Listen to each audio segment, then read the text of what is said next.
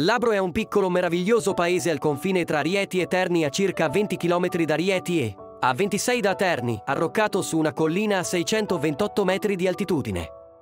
Al borgo di Labro si accede attraverso Porta Reatina, naturalmente a piedi percorrendo stradine di pietra. All'interno del paese ci si imbatte in altre tre porte incastonate nelle mura dalle quali partivano le tre arterie che conducevano ai luoghi cardine dell'abitato. Una di queste porte immette a Palazzo Nobili Vitelleschi, residenza privata spesso aperta ad usi pubblici, al cui interno è possibile ammirare un arredo ben curato ma anche l'archivio completo della famiglia.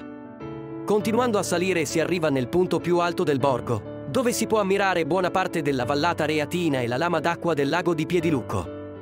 Qui oltre all'antica torre e ad un tappeto d'erba si trova il piccolo teatro comunale, sede di raffinate rappresentazioni.